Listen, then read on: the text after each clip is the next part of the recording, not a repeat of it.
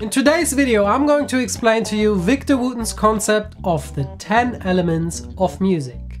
I'm also going to show you why this concept is a never-ending source of ideas when it comes to improvising, composing and arranging. Bass hack coming up!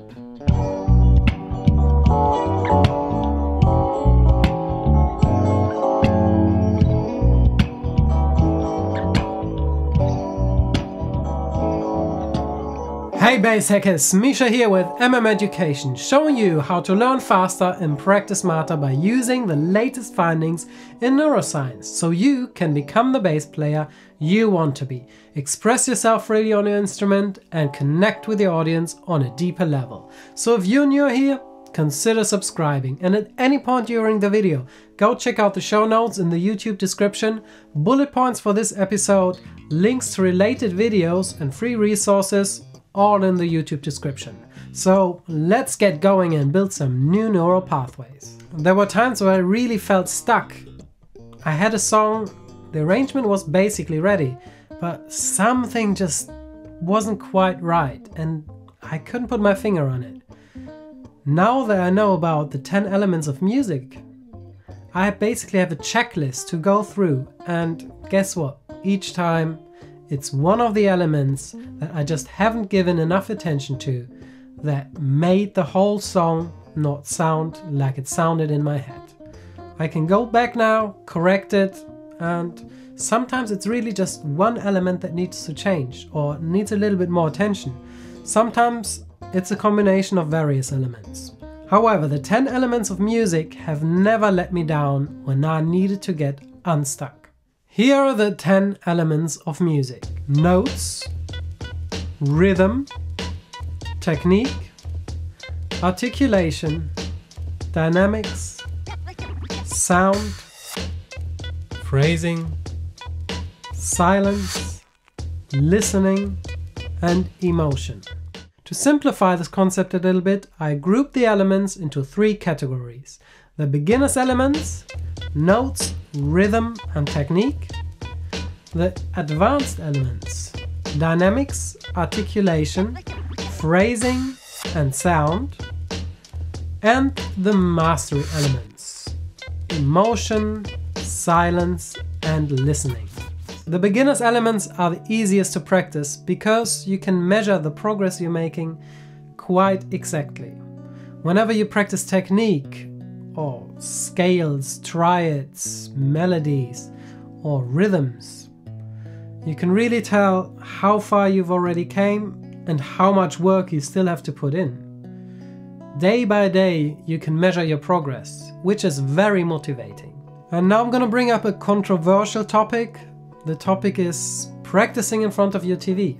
What? A lot of people say they don't have enough time, but then they watch Netflix for two hours every night well, you can use that time. Generally, I advise against practicing while you're busy doing something else. The better your focus, the quicker you learn. But these muscle memory type of things, like scales or even rhythm to some degree, that can be perfectly practiced in front of a TV. Because eventually, you actually want to be able to do all these things unconsciously without focusing on them. So once your skill is at that level where you can consciously do it, practice in front of the TV and move it to your unconscious skill set. For the advanced elements, you need a lot more control of your fingers and your ears. You need to pay full attention to what you're doing because the differences are a lot harder to notice and to control than they are with the beginner's elements. It becomes harder to measure the progress from day to day. When you're practicing the advanced elements over a longer period of time, you will be able to measure the progress. But it really does take this big picture perspective to see how you advance from day to day. While on the other hand, it needs that ultra focus of being in the here and now to get the most out of that practicing time. The mastery elements of music are about awareness. What does your audience need? What does your band need? What does the song need? Why are you playing music? How does the music you play make you feel? And how do you want your audience to feel when they're listening to your music? Once you have the answers to these questions, it's the mastery elements of music that will get you there. Exercise number one. Take a riff or improvise a solo and focus on each single element for one minute until you really nail it. Then analyze what you've played and find out which element has the most room for improvement.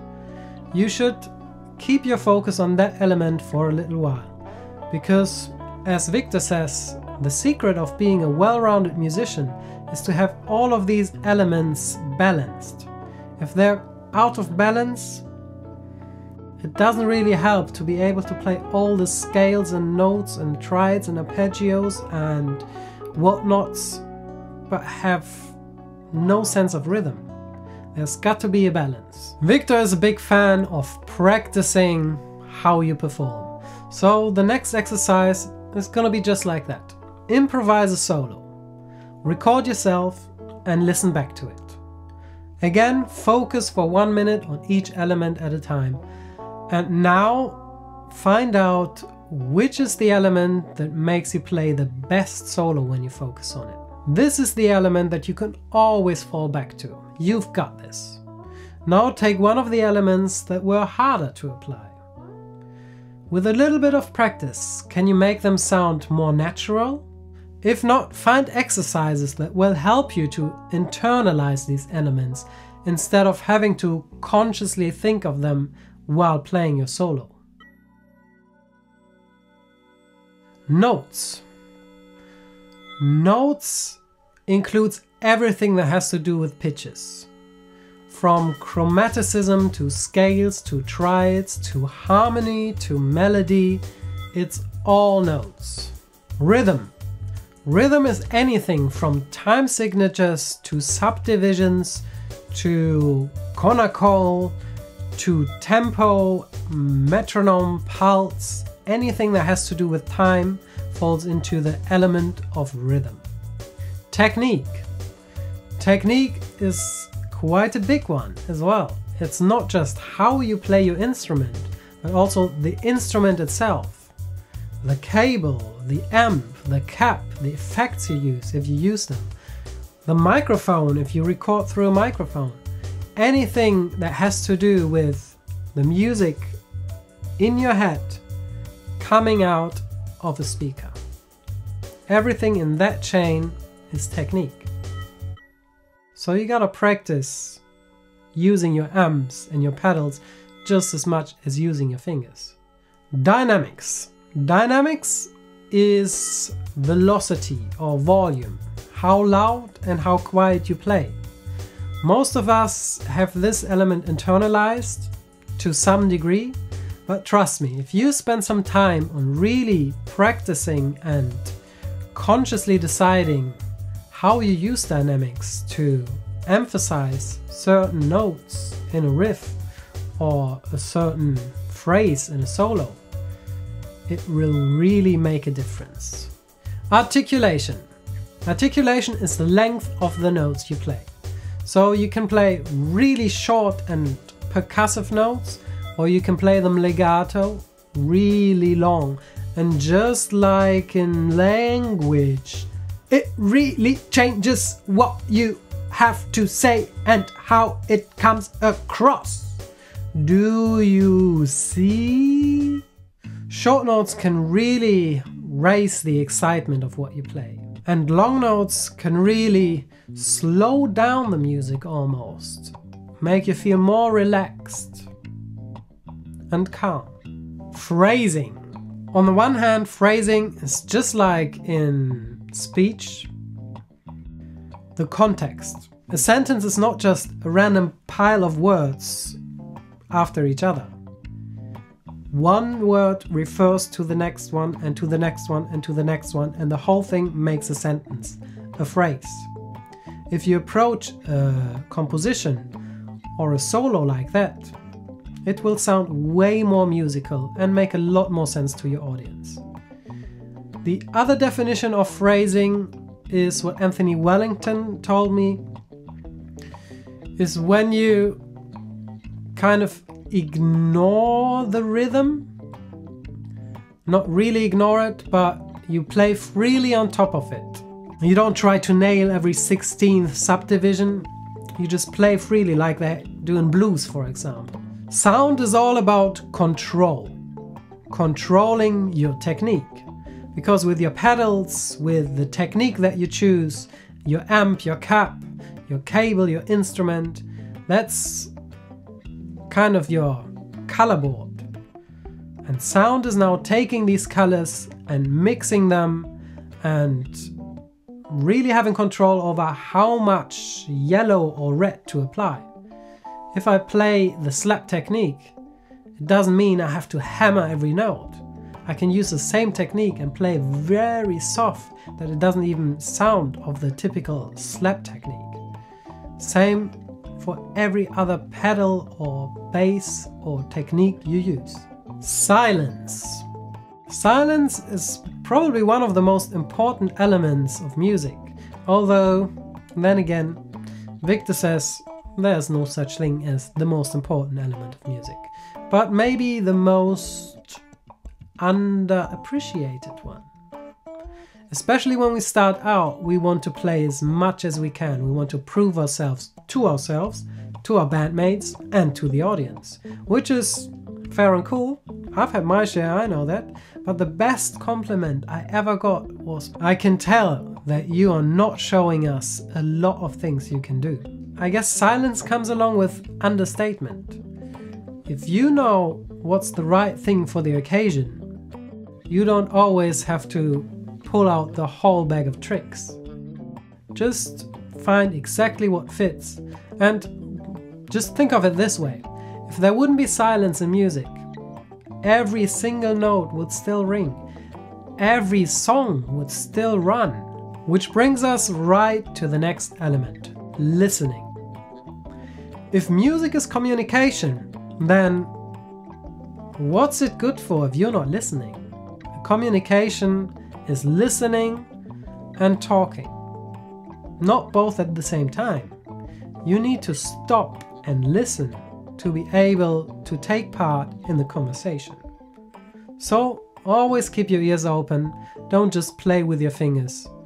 Listen to yourself when you practice, listen to your band when you rehearse, listen to your audience when you play a show. Emotion and feel. Emotion is something that all of us have inside of us. For some of us, it's way harder to show for others of us, we need to get it out there on a daily basis. And if we don't get our emotions out there, we're not very pleasant to be around. But depending on what type of person you are, emotion still is very, very important in music. Just think of a song that you love to bits.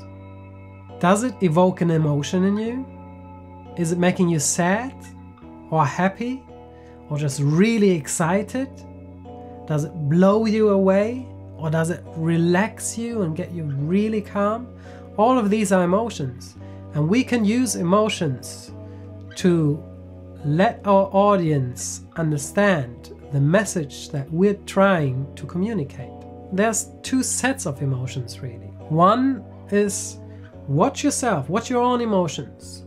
How do you want to feel when you play music? And then there's the audience. How do you want your audience to feel when they're listening to your music? Because these are two totally different things. Not totally, but they can be different. If you're playing a really, really, really sad ballad, you don't necessarily want to break out in tears and throw your bass on the ground, leave the stage, go crying in the backstage. But if your audience starts to cry because they're so touched by your music, that's a win, right?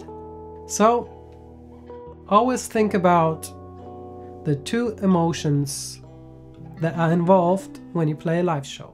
So today I showed you how to use Victor Wooten's 10 elements of music to get unstuck when composing or leveling up your improvisation skills. Now it's up to you to not just take in the information, but instead creating new neural pathways by applying the newly gained knowledge. Question of the day. Which element are you going to focus on next? Let us know in the comment section. And remember, some of the coolest ideas come from you and the MM Education community. So definitely connect with everyone in the comment section. And if there's a topic that you would like to be covered in one of the future episodes, let me know in the comment section as well. Alright bass hackers, thanks for checking out this video. I hope it got you one step further towards becoming the bass player you want to be. Definitely subscribe for more videos just like this and if you haven't downloaded my top 10 practicing hacks, I show you exactly what you need to do to learn more in less time. You'll learn about state management, about practice space setup, about having better focus and a lot more. So grab that for free with a link in the description. Until next time, MM Education helps you to learn faster and practice smarter. So keep up the good work and love and bass. Thank you.